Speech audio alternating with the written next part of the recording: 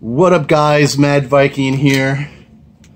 It's Wednesday night. I just got back from uh, ACW, the mall shows I go to all the time. Great show.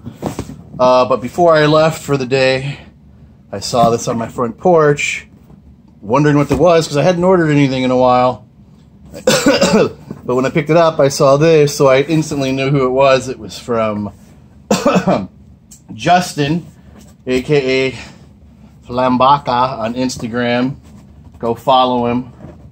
Uh, he told me a while ago he was sending me a care package.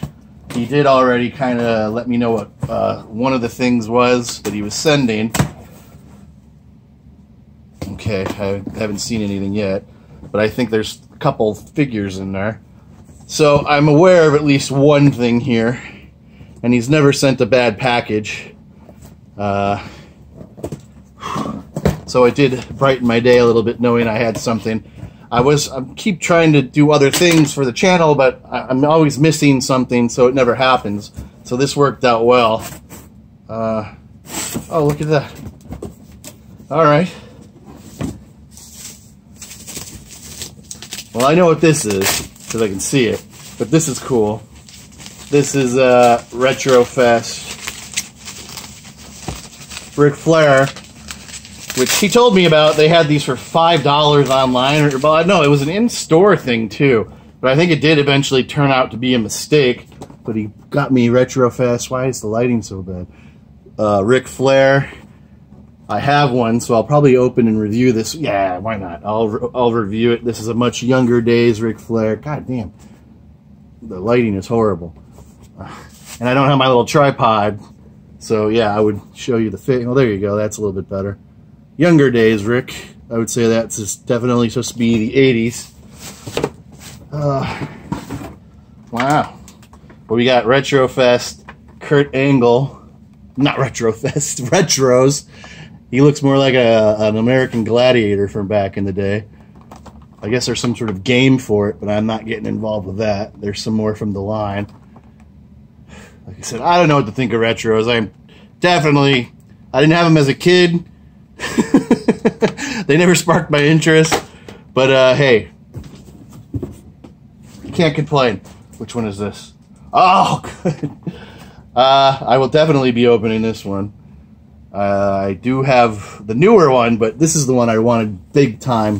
What from my, whatever it was a year ago. I even requested Ringside to make it, but I wanted the pants involved too. Of course, that's Team Angle, Kurt Angle. Great era for him see, there's a close up, of course. There's Kurt, there's the front and back. Oh, yeah, this is really old. Because it's got Jason Jordan on there, Chad Gable, Ryder in his Sting look. Those Gable and uh, Jordan figures go for like eight bucks on eBay. So he sent me Kurt, two Kurts. This one's kind of hidden, wrapped in stuff, so I'm assuming it's something Oh, yeah! Shit, I forgot. Awesome, dude. Where's my tape? Yeah, he told me this. Yeah, I didn't forget. I just forgot. if that makes any sense. He told me he was sending me this. And I have horrible luck finding these things.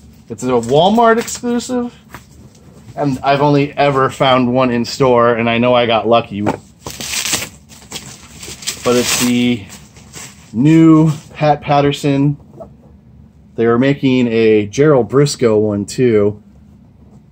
This is from uh, Attitude Era because I never could really remember where this was from because this is obviously like during the Austin feud with Vince. For whatever reason, it's a very sought after figure. I'm glad I have one, but uh, if I didn't get one, it wasn't going to bother me any. But he told me one day he went out and found eight in three stores he found eight. I haven't found any. I mean, I just got lucky with the SummerSlam series figures. So this one will stay bent in card and get packed away. First time in the line. Yeah, that's. I don't even think there was uh, Jakks figures for him. So that was it. That's what he sent out, guys. Let me see if there's a note or something.